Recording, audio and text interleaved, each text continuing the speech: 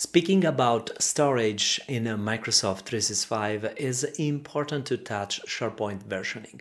I already made a video in the past about this topic and how you can take control of versioning in SharePoint. Now Microsoft has introduced a new capability which make more intelligent versioning in SharePoint. In fact, you can set automatic versioning and this will help the user to have more space where needed. And of course, versioning will be reduced in the case where a SharePoint site is not really active and it's not very used. All right, let me walk you through about this new capability. Let's go. Here I am in the SharePoint admin center of my tenant. Let me click on settings to open this uh, new item here, SharePoint version history limits. Clicking on this link, a panel opens and what I have here is the preview of this new feature. So this will looks like at the moment differently for you if you have not yet turned on this preview feature and how you can do that by using PowerShell. Of course, you need the SharePoint Management Shell updated, and you need to run this command set SPO tenant enable version expiration setting true. Once you run this, you are able to see this new UI in the panel. It is exactly this command, this PowerShell that you need to run. Now, let's go back to the SharePoint Admin Center. So this is the, the new experience. You have two options. You can let that SharePoint handle automatically the versioning of your site collections of your document library, or you can play with the manually option. This means that you are able to set the total number, the maximum number that you can support for document library, it could be 100 for example, and you can combine this with the time.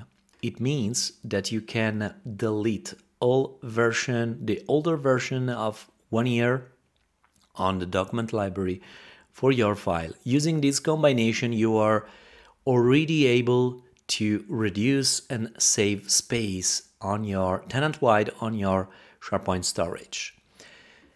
But we have here this option which is recommended. So you can read more about this option if you want to go deeper because you have the manual option and so it's absolutely up to you to set it and to set and try to find the right combination that you want. But here in this documentation that you can find uh, directly on the panel there is the link. I will add the link in the description as well. You are uh, able also to determine how this automatic option works. So and how SharePoint will take care of the space for you.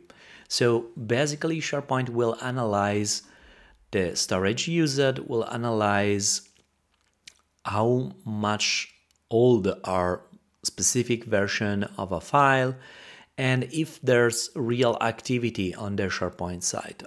With these three things, SharePoint will handle for you the space.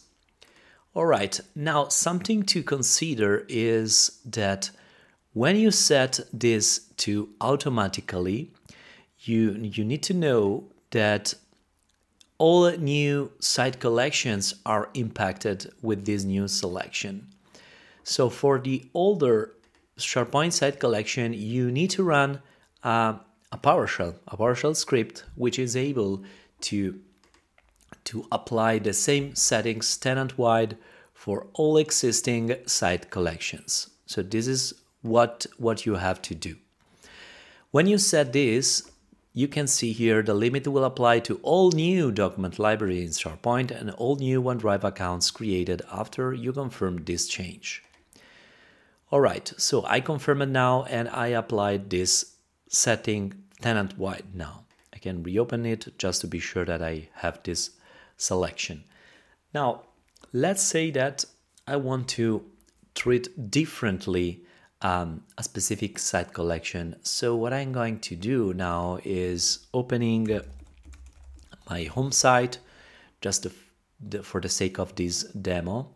I will then select documents and let's say that I want to apply a specific setting here for this for this document library. I will click on the gear icon in the upper right corner and then library settings, more library settings, and this will drop me in the classic view of the settings of this document library. Now I can click on version settings and what I can do here is trying to set the, the option that I want. What kind of version time limit do you want to set? No time limit. I can set then automatic and this will refer to the same setting that I applied in the admin center. Or you can go with manual or no time limit and then you can specify the number of measure version that you can support. But when you select automatic, as I said, SharePoint will handle this for you. Okay, we have seen a new capability in SharePoint versioning. If you enjoyed this video, as always, please consider to subscribe, like, add a comment down below, let me know what do you think about this new addition. I hope to see you next time. Bye.